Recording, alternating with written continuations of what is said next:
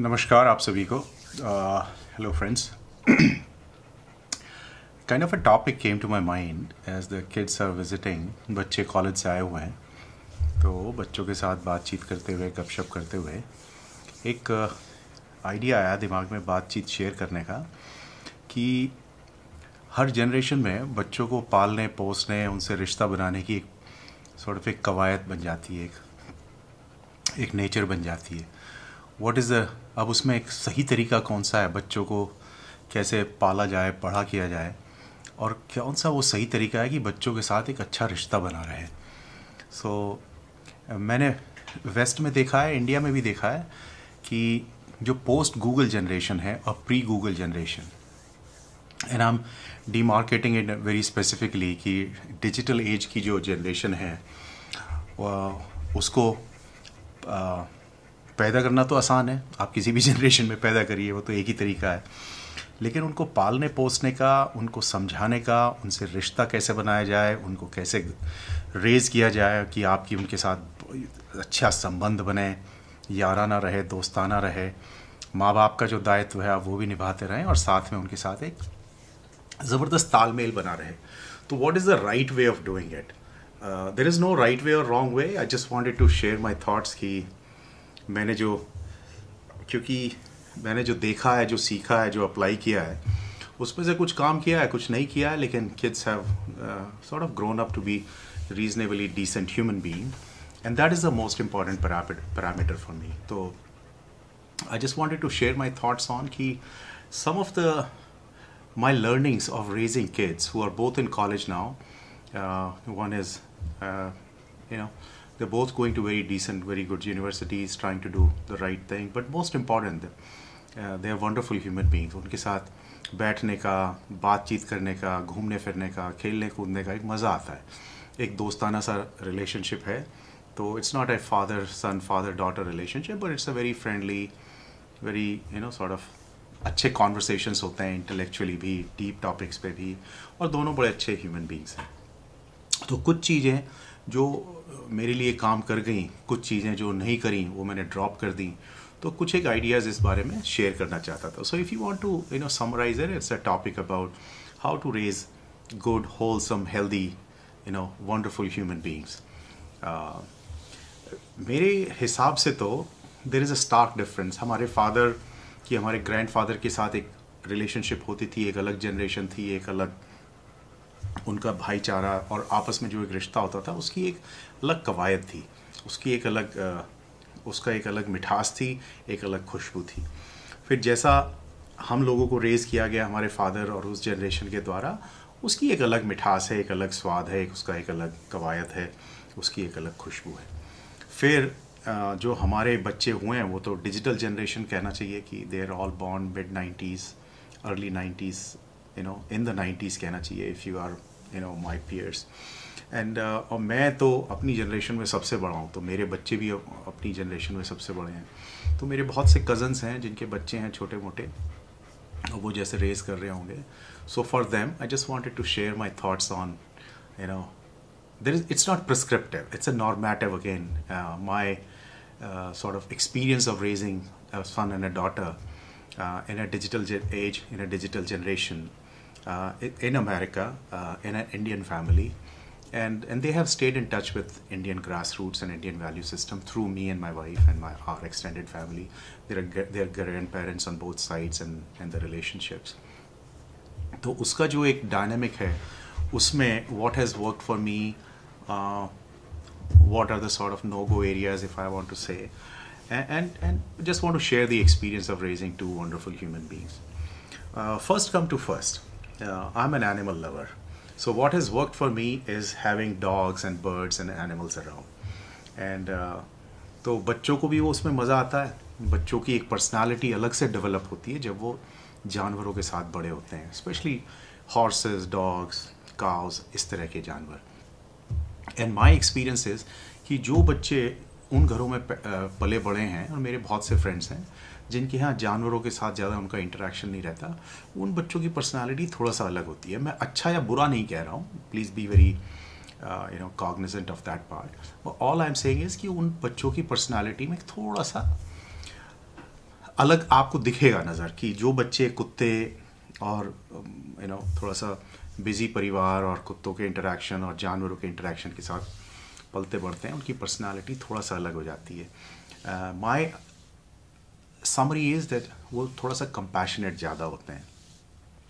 They become more sensitive sensitive in the sense that they start to understand unsaid words they start to read between the lines they start to read emotions better and why I am saying that कि अगर आपके घर में जानवर हैं, कुत्ते हैं, घोड़े हैं, गाय हैं, कुछ भी हैं, अब वो बोलते नहीं हैं आपकी भाषा में, लेकिन उनकी भी एक जबान होती है जिसमें वो आपको कन्वे करते हैं।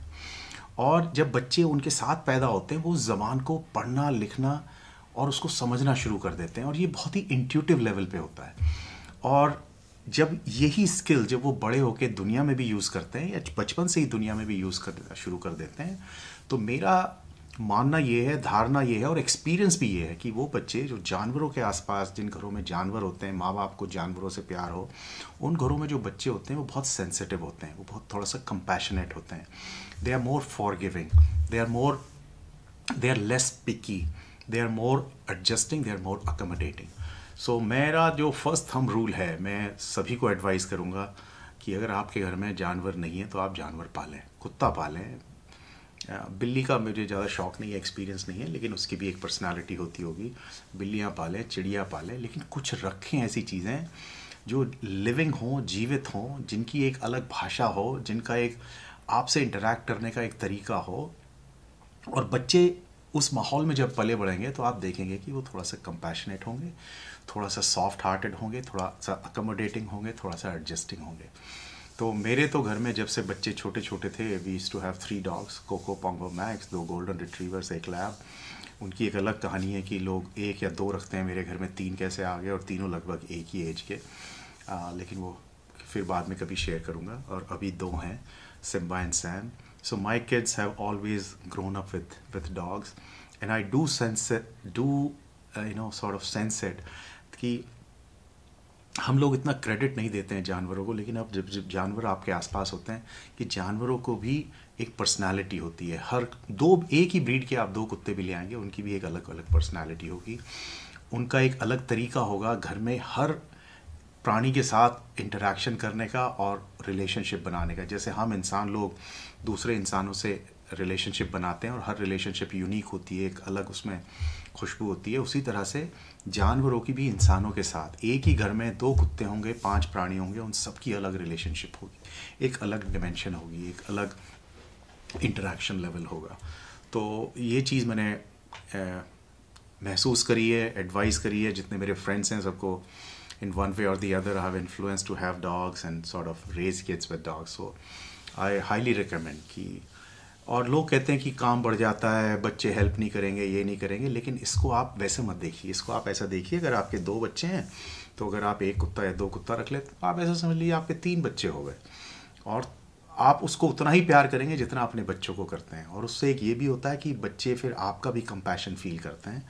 आपका भी सौहार्द समझते हैं, आपका भी एक सॉफ्ट हार्टेडनेस नेचर देखते हैं और वैसे ही फिर वो डेवलप होते हैं। तो इसको आप काम और एक्स्ट्रा वर्क ऐसे मत देखिए, इसको आप ऐसे देखिए कि आप बच्चों को एक भरा पूरा माहौल दे रहे हैं जिसमें कि एक होलसम ह्यूमन बीइंग ग्रो होंगे रेज होंगे। और ये चीज़ मेरे लिए बड़ी काम करी है तो मैं सबको एडवाइस करूँगा कि छोटी से छोटी जगह में भी आप एक छोटा सा प्राणी रख सकते हैं। दिल में जगह चाहिए, प्राणी को ज़्यादा जगह नहीं चाहिए। अगर आपका दिल बड़ा है, अगर आप खुले दिल के हैं, खुले हाथ के हैं तो एक और एक जीवित प्राणी को अपने साथ रखिए। उसका, उसकी भी ज़िंदगी संवारिए, आपके बच्चों की ज़िंदगी संवरेगी, आपकी संवरेगी और आपके आसपास का माहौल अच्छा होगा। तो आप चिड़ियाएँ पालिए, कुत्ते पालिए, बिल्ली पालिए, घोड़ा पालिए, गाय पालिए, गाँवों में रहते हैं तो होता ही है तो उनके प्रति एक थोड़ा सा स्वभाव बनाइए कंपैशन का। और अगर और आप शहरों में हैं और आप थोड़ी बहुत जगह है तो ज़रूर रखिए ये चीज़ें। इससे आपका बड़ा अच्छा आप फील करेंगे और बच्चे भी आपके अच्छे बड़े होंगे। तो ये एक थम रूल जो मैंने सीखा है and I want to share as number one number two कि आप बच्चों को जब छोटे से छोटे हों, मैंने गलतियाँ करी हैं, हर माँ बाप करता है, जवानी के जोश में प्रेशर होता है काम का, घर का, हम तुनक जाते हैं बच्चों के ऊपर। अब आप, अब मैं इस उम्र में आ गया हूँ कि बच्चे बीस बीस, इक्कीस इक्कीस साल के हो गए कॉलेज में हैं। मैं ये सोचता हूँ कि बच्चे जब छोटे होते हैं, उनको दुनिया का कुछ अता पता नहीं होता। आप ही उनके मेंटर हैं, आप ही उनके गाइड हैं, आप ही उनके टीचर हैं। आप एक सूत्र पकड़ लीजिए कि आपका काम सिर्फ़ इतना है कि उस बच्चे को ये जो दुनिया एक्सटर्नल वर्ल्ड है, जो दुनिया है, उसमें प्राणी हैं, पेड़ हैं, इंसान हैं, इंसानों के रिश्ते हैं पॉलिटिकल ऑर्डर है सोशल ऑर्डर है इकोनॉमिक्स जितनी भी हम जिसको हम माया कहते हैं, पूरा समाज दुनिया, कायनात। बच्चों, आप उसको, ये जो यूनिवर्सल वर्ल्ड है, जो दुनिया है, इसका मॉडल आप बच्चों के दिमाग में डेवलप करने के लिए हेल्प कर रहे हैं। उसकी ज़िंदगी कैसी होगी, वो क्या खाएगा, क्या पिएगा, मैं तो खैर सनातनी हूँ तो मैं कर्म, धर्म, प्रारब्ध इनमें विश्वास करता हूँ। हर इंसान अपनी किस्मत लेके आता है, हर इंसान अपने प्रारब्ध लेके आता है, वो उसी किस्मत और प्रारब्ध के हिसाब से अपना जीवन जिएगा। एज ए पेरेंट आपका काम सिर्फ़ इतना है, आप ऐसा समझिए, और ये पुराणों और उपनिषदों में भी लिखा है कि आपके ज़रिए से एक कायनात ने एक अपना नया जीवन धारण किया है। आप सिर्फ़ उसके उतने से सूत्रधार हैं। बाकी उसके प्रारब्ध जो हैं, वो वो भोगेगा। As a parent as a माता पिता आपने सिर्फ़ उसकी उंगली पकड़ के उसे ये दुनिया अपनी बुद्धि, अपने विवेक के हिसाब से जैसा इसको जाना है, उसमें उसको वो नॉलेज आपने ट्रांसफ़र करनी है। उसको आप कभी ये मत करिए, तू ये कर, तू ये मत कर, तू ऐसा करेगा, ये हो जाएगा, वो हो जाएगा। ना। उसको सिर्फ़ बताइए कि किस चीज़ में क्या अच्छा है, क्या बुरा है। और किसके करने से क्या आउटकम मिलता है, किसके करने से नहीं आउटकम मिलता। है अगर आपको नहीं पता, आप कह दीजिए, मुझे नहीं पता। अगर आपको नहीं पता है, थोड़ा पढ़िए, फिर उसको समझाइए। बच्चे गलती करेंगे, कप फूटेंगे, प्लेट टूटेंगी, ग्लास टूटेंगे, खिलौने तोड़ेगा, बच्चा बच्चा गुस्सा करेगा, बच्चा चीज़ें फेंकेगा। वो बच्चा इसलिए नहीं करता कि उसको मज़ा आता है ये सब करने में। वो इसलिए करता है कि उसको पता ही नहीं है दुनिया का। उसे यही नहीं पता कि प्लेट हाथ से छूट जाएगी, टूट जाएगी तो अगर जो कांच लगेगा उससे खून भी निकलता है, अगर पहली बार हो रहा है। जब एक बार हो जाएगा, फिर उसको थोड़ा थोड़ा सा समझ में आने लगेगा। तो मैं सिर्फ़ इतना समझता हूँ कि माँ बाप का दायित्व सिर्फ़ यहीं तक इतना होता है, एक हिस्से तक कि आप हेल्प करें बच्चों की। ये जो मॉडल है, जो दुनिया जो आपने जानी है how do you transfer the data about this model into your kids head उसके लिए फिर ये भी ज़रूरी होगा कि आप खुद इतने समझदार बने। आप खुद पढ़े लिखे हों, आप खुद पढ़ें, आप गुणना सीख और सीखना ना छोड़ें, क्योंकि ये मॉडल आप भी डेवलप करते ही जा रहे हैं, आपका भी फाइनलिटी नहीं हुआ है। और आप जितना सीखते जाएँगे, उतना ही बच्चों को हैंड होल्ड करते जाएँगे, उतना ही उनके दिमागों में ट्रांसफ़र करते जाएँगे। तो इससे ये होगा, एक तो आपको पढ़ने लिखने की आदत पड़ेगी। आप स्वतः किताब पढ़ने के शौकीन बनेंगे आप, अच्छे समझदार लोगों को। में बैठना, सुनना शुरू करेंगे आप। अच्छी चीज़ें अपने अंदर गुण पैदा करेंगे। और जब आप ये करेंगे और बच्चे आपको देखेंगे तो बच्चे भी स्वतः वैसे ही करते जाएँगे। तो तीसरा जो मैं सूत्र देना चाहता हूँ आपको, कि आप बच्चों को ये मत कहिए कहना भी पड़ेगा कि बेटा ये मत कर, ऐसा करेगा तो ऐसा हो जाएगा। रैशनली उनको समझाइए। और नंबर दो, उसके साथ साथ आप जो व्यवहार करेंगे, बच्चा वो ही करेगा। बच्चा आपके कहने से नहीं करेगा कि तू ये कर ले, आप खुद कुछ और करें और उस बच्चे को कुछ और कहने को कहें। ना। Bring a consistency to your life आप जैसा उसके सामने व्यवहार करेंगे, बच्चा वैसा ही व्यवहार सीखेगा, करेगा, गुणेगा और भोगेगा। तो आप फिर इसके नेक्स्ट आइडिया बन जाता है कि आप खुद स्वतः एक अच्छे इंसान बनिए। आप खुद पढ़ना लिखना जारी रखिए अच्छी अच्छी किताबें खरीदिए अच्छी अच्छी किताबें घर में रखिए। उनको पढ़िए, उनको गुणिए, उनको अपने जीवन में उतारिए और आप स्वयं फिर एक रोल मॉडल बन जाएँगे।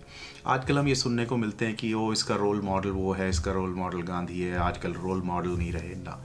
बच्चे का सबसे बड़ा रोल मॉडल स्वयं उसका घर, उसका परिवार, उसके माँ बाप होते हैं। फिर उसके दादा दादी नाना नानी मामा, चाचा ये सब होते हैं जिनमें वो पलता पड़ता है। उसके बाद शिक्षक होते हैं टीचर्स होते हैं, उसके फ्रेंड्स होते हैं। तो जो इमीडिएट माहौल होता है, वहीं से रोल मॉडल निकलते हैं।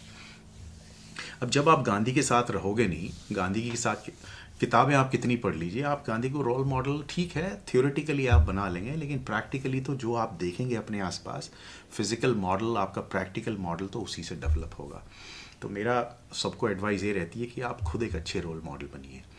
आप जो करेंगे, आप जैसी भाषा का इस्तेमाल करेंगे, आप जैसा दूसरों के साथ व्यवहार करेंगे, आप जैसा माहौल बन, घर में बनाएँगे, बच्चे वैसे ही होंगे। वो कहावत है, फल कभी पेड़ से ज़्यादा दूर नहीं गिरता, वो कहावत इसीलिए सही बनी है।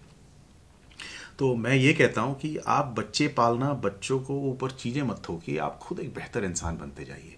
खुद पढ़ते लिखते जाइए, गुणवत्ता, गुणवान बनते जाइए, और जैसे जैसे आप ये करते जाएँगे, बच्चे भी उसी हिसाब से पलते बढ़ते जाएँगे। हाँ फिर ये भी होगा कि बच्चों के जो अपने प्रारब्ध हैं, वो आपके गुणों से मिलके फिर और फलीभूत होंगे आगे। चल के उनका एक अपना अलग मार्ग बनेगा, वो अलग दिशा में भी जा सकते हैं, लेकिन वो लेकिन आपकी महक उनमें रहेगी ज़रूर। आपका डीएनए उनमें रहेगा ज़रूर। तो ये चीज़ मैंने देखी है, बड़ी काम करती है। और फिर आपके ऊपर एक या तो आप इसको एक प्रेशर मत लीजिएगा कि, अरे यार, अब मुझे अच्छा इंसान बने ये तो आपकी नेचर होनी चाहिए। तो अगर आप किसी जीव को इस संसार में उतार रहे हैं तो आपका दायित्व फिर जब तक आप ज़िंदा हैं, तब तक बना रहेगा। और सबसे बड़ा तो यही है कि आप स्वयं को एक अच्छा निरंतर इंसान बनाते जाइए तो बच्चे आपके, आपको फॉलो करते करते खुद एक अच्छे इंसान बन जाएँगे। और मैंने ये बहुत देखा है अपने इंडियन समाज में भी वेस्ट में भी देखा है कि माँ बाप लोग इनकन्सिस्टेंट होते हैं, कहते कुछ और हैं, बच्चों से करते कुछ और हैं। और तो आप जो व्यवहार, जो गुण बच्चों में डेवलप करना चाहते हैं, करना चाहते हैं, पहले आप अपने अंदर करिए। और और जब करेंगे, उसको व्यवहार में लाइए, उसको आप अपना एक्सटेंशन बनाइए अपनी पर्सनालिटी का। बच्चों को फिर आपको कुछ सिखाने की ज़रूरत नहीं पड़ेगी। बच्चे आपको देख देख के ही स्वयं वैसा चरित्र, वैसा व्यवहार करना शुरू करेंगे और वैसे ही समाज के लिए अच्छे प्राणी बनेंगे। फिर जब थोड़े से बड़े हो जाएँ मेरा एक सूत्र जो बच्चों में बड़ा काम किया है I am a very passionate sportsman and I still play golf and workout go to gym so so, बच्चों के साथ मैंने ये देखा कि आप स्पोर्ट्स में ज़रूर यू नो स्पोर्ट्स एनकल इनकलकेट कीजिए अपने बच्चों में। उनको स्पोर्ट्स मैन स्पोर्ट्स वूमेन ज़रूर बनाइए। बेटा और बेटी में बिल्कुल डिफ्रेंशिएट मत करिए। थोड़ा सा उन्हें एक्सपोज करिए। उनको उनके ऊपर थोपिए मत। अगर वो बल्ले से एक गेंद अच्छी मारता है आप ये मत समझिए कि सचिन तेंदुलकर बन जाएगा। वो बने बहुत अच्छा नहीं बने आप ये देखिए कि उसको एक स्पोर्ट्स में स्पोर्ट्स के, जब आप वो इंडिविजुअल स्पोर्ट्स खेले टीम स्पोर्ट्स खेले, एक आउटडोर के लिए जब पैशन डेवलप करेगा, वो उसके पर्सनैलिटी में बड़ा एनहांस एनहांस करता है। फिर आप टीम स्पोर्ट्स खेलते हैं, एक स्पोर्ट्स की स्पिरिट होती है, एक उसका माहौल होता है, उसका एक चरित्र, एक गुण, वो बच्चे के अंदर आना बहुत ज़रूरी है।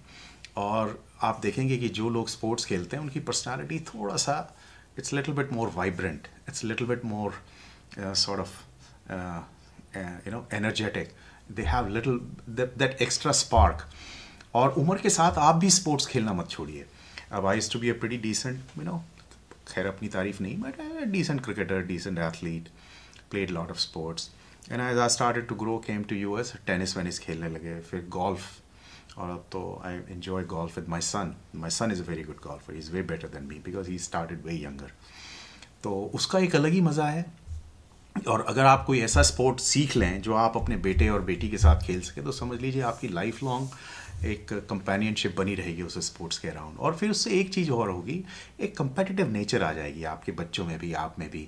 But it should be a sportsman spirit competitive nature that you want to win but in a very ethical and in a sort of you know organize and मज़ा आए खेलने में, ताकि गेम के बाद आप हाथ भी मिला सकें, जीत भी सकें, हार भी सकें सेलिब्रेट कर सकें। तो वो एक चीज़ मैंने अडॉप्ट करी है और मैं इनक्रेज करता हूँ कि आप खुद एक अच्छे स्पोर्ट्समैन बने तो बच्चे आपके अपने आप अच्छे स्पोर्ट्समैन बनेंगे। और अच्छे स्पोर्ट्समैन बनेंगे तो जो स्पोर्ट्स से रिलेटेड कैरेक्टर्स हैं, वो उनके अंदर आएँगे और उनकी पर्सनालिटी को एनहांस करना शुरू करेंगे। तो कोई भी स्पोर्ट चुनिए आप इट डजेंट मैटर बट चाहे रनिंग करिए, चाहे वेट लिफ्टिंग करिए कोई भी करिए। Take it take some physical activity as a sport in the right spirit develop right attitude you know develop the whole eco ecosystem around the sport and it will seep into you and it will reflect in you as a personality. Your personality will get enhanced. और आपके बच्चों के साथ भी आपकी relationship पे इसका बड़ा फ़र्क पड़ता है। आपको उनके साथ वक्त गुजारने का मौका मिलता है। आपका हैंड आई कोऑर्डिनेशन इंप्रूव होता है। बहुत चीज़ें होती हैं। तो स्पोर्ट्स एक बहुत इंपॉर्टेंट चीज़ है। रीडिंग एक बहुत इंपॉर्टेंट चीज़ है। आप खुद पढ़ेंगे तो बच्चे भी पढ़ेंगे। और पढ़ाई और किताबों का एक बार आपको नशा चढ़ जाए एक बार शौक चढ़ जाए तो आप ज़िंदगी भर पढ़ सकते हैं। और किसी भी टॉपिक पे पढ़िए पढ़ते रहिए और अपने आप वो अंदर आपके उसका चिंतन मनन करेंगे तो आपके गुण में और व्यवहार में भी आएगा।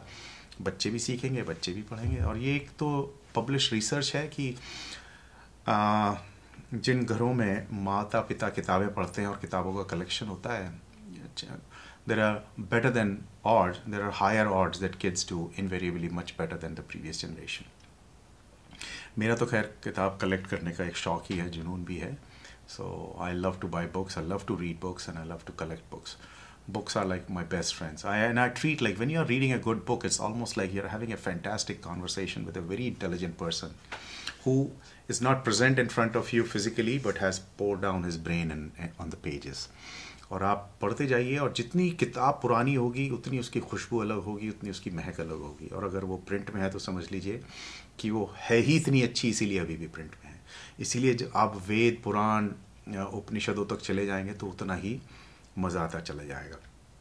और उनको आप ऐसे फंडामेंट मैं तो खैर as a not as as a Sanatani fundamentalist that कि इसका पाठ करना है मैं उसको समझने की कोशिश करता हूँ उसकी थोड़ा सा रूह में जाने की कोशिश करता हूँ क्योंकि अगर आपको कुछ भी ज्ञान अपने व्यवहार में लाना है तो उसको समझ के उसका चिंतन मनन करके तभी व्यवहार में लाया जा सकता है और तो पढ़ें ज़रूर जानवर ज़रूर रखें फिर एक चीज़ मैंने देखी जैसे बच्चे बच्चे थोड़ा सा बड़े होने लगते हैं टीन एज में आने लगते हैं उनका थोड़ा सा एक्सपोजर बढ़ने लगता है तो आठ, दस, ग्यारह, बारह साल की उम्र तक तो ये चल जाता है कि आप उनके साथ खेल रहे हैं, उनको समझा रहे हैं, उनको मॉडल दिखा रहे हैं, उनके साथ खाना पीना कर रहे हैं खेल कूद रहे हैं। फिर जब वो थोड़ा बड़े होने लगते हैं they start to develop their own personality और ये किसी भी एज में हो सकता है, आठ से लेकर चौदह तक, पंद्रह तक मेरा कोई ऐसा वो नहीं है, फंडा नहीं है। लेकिन जब वो अपनी पर्सनैलिटी डेवलप करने लगे तो आपकी, मैंने देखा है, काफ़ी पेरेंट्स की ईगो हर्ट होने लगती है। Because kids start to voice their opinion. Kids start to say no. Kids start to say, I don't want to do it. I don't like it. They start to do tantrums. उनको लोग बोलते हैं, ओ, ये puberty आ गई है ये वो ठीक है puberty is a physical manifestation of personality development और यहीं पे मैंने देखा है कि काफ़ी पेरेंट्स की रिलेशनशिप थोड़ा सा फ्रिक्शन वाली हो जाती है अपने बच्चों के साथ वहाँ पे मेरी भी रही है थोड़ी सी मैं ये नहीं कहूँगा कि I had perfect relationship but I learn quickly and adapted कि उसमें आप अपनी ईगो को थोड़ा टोन डाउन करिए। और आपने उन बच्चों को पहले दिन से देखा है तो आपको थोड़ा सा अंदाज़ा होने लगता है कि ये बच्चा किस किस चिंतन, मनन, व्यवहार पर्सनैलिटी ट्रेड्स एट्रीब्यूट्स का है। और वही attributes in certain way enhance होने लगते हैं। उस केस में ये बहुत ज़रूरी है कि आप अपनी ईगो को थोड़ा चेक करें as a parent and give them rope and and draw broad guidelines. Rather than become prescriptive to the kids, become normative and start to have longer conversations. Don't start to leave kids alone and don't spend time with them. ऐसा नहीं। आप मौका ढूंढिए। ऐसा नहीं कि बिठा के आप पाठशाला लगाने लगे, ज्ञान देने लगे ना। फिर वो बच्चे स्विच ऑफ़ हो जाते हैं। You have to find a way to stay engaged and and और ये हर एक बच्चे का, हर एक पेरेंट का एक अलग स्टाइल होगा। लेकिन ये मुश्किल भी होता है क्योंकि उसी दौरान आपके ऊपर जॉब का प्रेशर होगा बिज़नेस का प्रेशर होगा ट्रैवल का होगा, ये होगा, वो होगा। लेकिन आप इसीलिए मैं ये वीडियो बना रहा हूँ ताकि ये एक्सपीरियंस शेयर किए जा सकें कि थोड़ा सा अवेयर रहिए कि बच्चा अब अपनी पर्सनालिटी डेवलप करेगा, आपने उसको डेवलप होने देना है। क्योंकि आप अगर उसको बॉक्स करने की कोशिश करेंगे और अपने एट अपने जो आपकी यू नो थिंकिंग है, अपने आप की जो मेंटल मेकअप है, अगर उसको, उसके ऊपर थोपना शुरू करेंगे, आप देखेंगे कि बच्चे फिर स्प्लिट पर्सनालिटी डेवलप करना शुरू कर देंगे। वो आपके सामने कुछ और कहेंगे, पीछे कुछ और होंगे और उनको आइडेंटिटी क्राइसिस होने लगता है थोड़ा सा बाद में जाके थोड़ा सा इमोशनल इश्यूज़ होंगे, जो भी हैं। तो उसको मैनेज करने के लिए बहुत ज़रूरी है कि आप बच्चे को समझें, दोस्ताना, याराना व्यवहार रखें। गलतियाँ करेंगे, लेकिन आपको उनमें माफ़ करना भी पड़ेगा। क्योंकि as a parent you are their last line of defence that's what I call कि कुछ भी हो जाए you have to be there for kids you have to stand with them you have to support them वो दस बार गिरे हैं आपने दस बार हाथ पकड़ के उठाना है फिर वार्तालाप करना है, क्या सही है, क्या नहीं है लेकिन वो एज भी ऐसी होती है कि ज़रूरी नहीं कि बच्चे की समझ में आ जाए so you have to hand hold them through that you know phase of when they are trying to come in contact with this world on their own and start to sort of develop the stronger personality of interaction. And this is the hit and trial period. This is the phase where you have to be extremely sort of articulative and and sort of immersive in their life. और अगर आप इस phase से निकल गए तो उसके बाद तो फिर डोंट इम्पोज ऑन देम कि तूने ये करना है, ये पढ़ना है, ना। गिव देम अगर आप खुद पढ़े लिखे हैं, खुद समझदार हैं तो आप उनको दुनिया के हर मॉडल के बारे में बता सकते हैं कि, बेटा, अगर मेडिसिन में जाएगा तो आप ये ऐसे करोगे, वैसे करोगे। लिबरल आर्ट्स में ऐसे होता है इंजीनियरिंग में ऐसा होता है बिज़नेस साइड में ऐसा होता है आर्ट्स में ऐसे होता है स्पोर्ट्स में ऐसे होता है। ये आउटकम है, ये पॉजिटिव्स हैं, ये नेगेटिव्स हैं, ऐसे सब साथ में आता है। You have to have these conversation don't impose certain कि तू यही पढ़, वो पढ़। आपको बचपन से ही बच्चे का एट्रीब्यूट पर कि ये साइंस के बेंट का है माइंड का है फ़िज़िकल स्पोर्ट्स साइड का है बिज़नेस के इसका एटीट्यूड है। और सबसे इंपॉर्टेंट बात है, बच्चे को वो पढ़ने दीजिए जिसमें उसका शौक हो पढ़ने का। अगर उसमें उसका शौक होगा, वो चीज़ पढ़ेगा तो उसका मन लगेगा तो उसमें अपने आप एक्सेल करेगा। हमारी जनरेशन तक ये होता था, या तो डॉक्टर बन जाओ, या इंजीनियर बन जाओ, और जिन लोगों के पेरेंट्स के बिज़नेस होते थे कि वो अच्छा बिज़नेस ही करेगा। अब थोड़ा सा ऑप्शंस हैं चॉइसेस हैं। तो आप बच्चे की हेल्प करिए, उसको, उसकी पर्सनालिटी और उसके पॉजिटिव्स और उसके जो स्ट्रेंथ्स हैं, वो समझने में। हेल्प करिए उसकी कि उसकी वीकनेसेस क्या हैं, उसके पर्सनालिटी के हिसाब से कौन सा एरिया ज़्यादा सूट करेगा। और आप ये देखेंगे, आपको यहाँ तक के लेवल का एडवाइज़र बनने के लिए आपको कितना समझदार होना पड़ेगा। तो आप खुद समझदार बनिए, अपने आप को जानिए, ज्ञान स्वतः प्राप्त करते रहिए और फिर बच्चों की हेल्प करिए to help them to understand who they are, what their strengths and weaknesses are. What will click with them because बच्चों को क्या पता कि यार मैं लिबरल आर्ट्स पढ़ के तो मैंने कॉलेज में बहुत लोग लोग देखे हैं फ़र्स्ट सेकेंड ईयर के बाद they are lost they are miserable they don't know what to do they drop the majors फिर दूसरा करेंगे फिर तीसरा करेंगे फिर कहीं जाके क्लिक होते हैं तो अगर आप ग्यारहवीं बारहवीं से ही बच्चों के साथ थोड़ा सा ये वार्तालाप शुरू कर दें to help them figure out who they are based on what courses they like what they enjoy और उस कोर्सेज से रिलेटेड जो भी कॉलेज मेजर्स हैं या जो भी line of you know employment या बिज़नेस उनके लिए अच्छी रहेगी help them to think through it और उसके बाद उनको आप खुला छोड़ दीजिए, उनको आप आज़ादी दीजिए। क्योंकि यहाँ तक आपने जैसा व्यवहार किया होगा, वैसा व्यवहार वो करना शुरू करेंगे। जैसा उनके दिमाग में कंपैशन इंटरेक्शंस आपने व्यवहार और उनकी, उनका चरित्र बनना होगा, वो बन चुका होगा। और कॉलेज तक आते आ रहे जब वो कॉलेज शुरू करेंगे, उनको ये भी पता होगा कि वो, उनकी स्ट्रेंथ्स और वीकनेसेस क्या हैं, उनको क्या पढ़ना चाहिए, क्या नहीं लिखना चाहिए। और यहाँ तक आते आते अगर वो एक compassionate wholesome intelligent well rounded human being बन गए स्पोर्ट्स और इन सब के द्वारा तो फिर आपकी ज़िंदगी में, समझ लीजिए God has given you not kids but couple of best friends जितने भी आपके हैं, एक, दो, तीन बच्चे those are going to be your best friends for life and that's how you have to kind of you know enjoy life with them and as kids grow I call it non linear curve as kids grow and their personality start to strengthen your ego needs to come down in the same fashion And, and, when the total sum of the ego in a relationship needs to stay constant. तो अगर आप ये थोड़ा सा intellectually accept कर लें तो आप देखेंगे कि आपकी मौजी मौज है बच्चे आपकी रिस्पेक्ट करेंगे आपको प्यार देंगे आपको आपसे याराना रख रहेगा दोस्ताना रहेगा। और ये सब फाइन बैलेंस है। It's not a science it's an art where love respect friendship it evolves together and uh, and nobody should have hard feelings कि ये नहीं किया तो मैं ये कर दूंगा yeah there are certain things there are going to be certain no-go areas red lines but as long as you are clear about it and you can rationally discuss with them and rationally sort of convince them what's right and wrong वो आप करते जाइए and it's a constant parenting thing और बस फिर आप enjoy करिए life बच्चों के साथ में उनको आज़ादी दीजिए what you want to do is raised wonderful wholesome well-rounded happy self sufficient uh, human beings who will make a positive contribution to the universe and society. Uh, what you don't want is insecure, internally conflicted, uh, identity crisis prone prone individuals. और उसमें माँ बाप घर परिवार माहौल का बहुत बड़ा हाथ होता है और uh, मैंने तो ये चार पाँच छः चीज़ें एक ब्रॉड बकेट में जो आइडेंटिफाई करी हैं या इस्तेमाल करी हैं या यूज़ करी हैं या इवॉल्व हुआ हूँ मैं इन इन चार पाँच छह चीज़ों को लेके मैंने देखा उसका बहुत फ़र्क पड़ता है।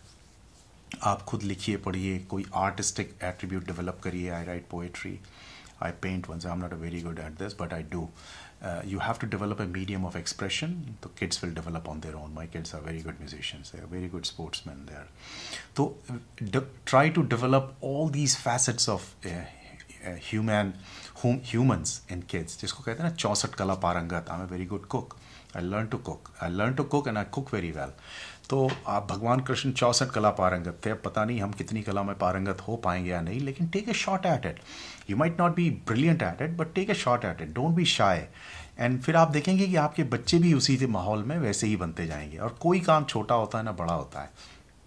तो यही सब हैं। बाकी तो I know maybe I'll make a follow-up video, but uh, that's what I would love to share. Raise the kids uh, with a very sort of open mind. Uh, continue to grow as a person. Kids will follow you. They will grow as an individual. And keep one thing in mind that you want to raise wholesome, happy, compassionate.